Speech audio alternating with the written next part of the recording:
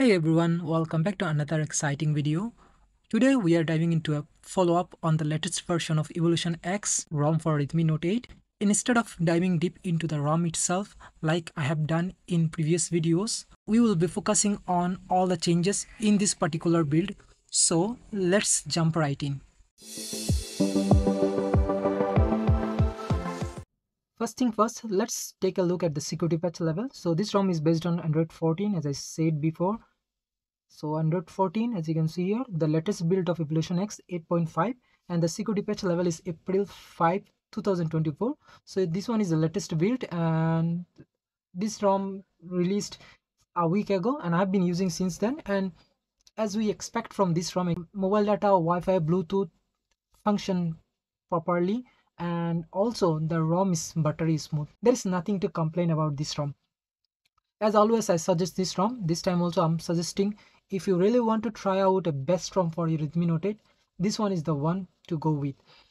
So as you know, Evolution X is based on AOSP, but we do have a lot of features to play with. As you can see, we have the Evolver section. If you go there, you can tweak anything you like. So the UI you can customize. I have changed a little bit like font and battery icon other things whatever you like you can do with ui and there are tons of feature to play with now let's talk about the battery backup. The battery backup is actually perfectly fine as you expect from this rom. When i have installed this rom i did notice battery draining issue but after a quick reboot it's working just fine. And as you can see now it is on 75 percent and i have like using for two to three hours now. Let me show you. So battery usage as you can see here 100 to 50 percent and i used like two hours. So the kind of battery backup is decent so maybe i will get about five hours of screen on time. For this device five hours is okay actually. So the battery backup is okay for me. No issue with the battery backup. And also we have all the feature we want with the battery section. So like charging control is there. And also charging ampere control also there. Like uh, if you want fast charging you can turn it on. Or also if you don't want fast charging you can like keep it in 500 milliamp or whatever you want so in that way uh, you can like save your battery. You will get good battery backup and also the device will not heat up. So there is a lot of thing to play with. You can do anything you like. There is a lot of information here. So that's all about battery.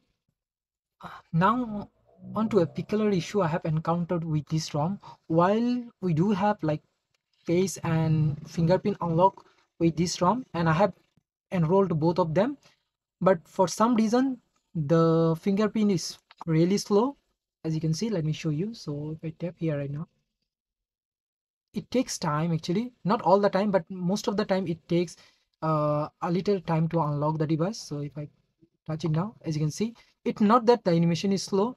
It is working slow. As you can see it takes time. Not really every time but it takes time. So it, this one is like peculiar issue as you can see here. It takes about two seconds to unlock the device. So that's kind of issue i'm having but face unlock is also working but as i said face unlock is it's not really good on this device. Rather than that everything seems to be fine working there is no issue.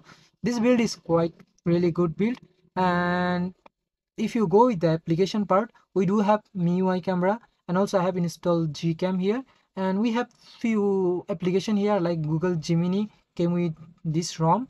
And other things like safety net is fine. So you can install bank apps without any issue. You can use bank apps.